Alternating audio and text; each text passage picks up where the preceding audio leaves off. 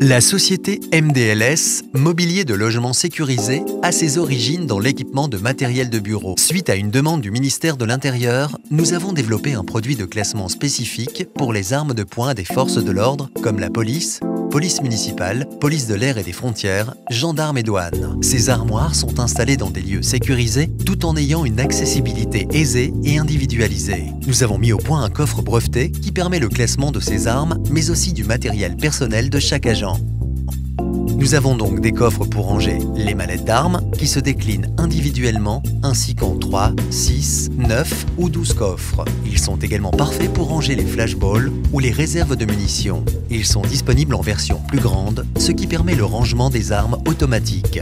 La particularité et l'avantage de nos coffres, un système d'ouverture télescopique et inclinable du coffre, ce qui rend l'appréhension de l'arme très simple, quelle que soit la hauteur.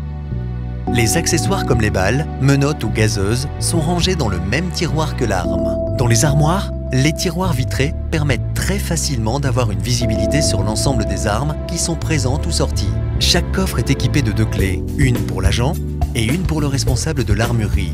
Chaque ensemble est équipé d'un passe général pour l'armurier.